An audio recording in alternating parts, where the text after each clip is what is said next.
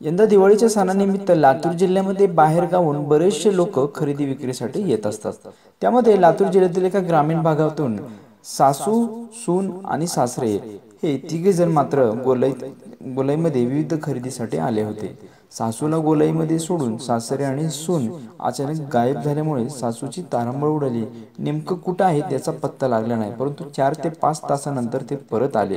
परत आल्यानंतर ते म्हणाले की आम्ही रस्ता चुकलो या कारणावरून देखील त्यांनी सासूला सांगितलं. परंतु ही गोष्ट तिला मनामध्ये संशयास्पद वाटली.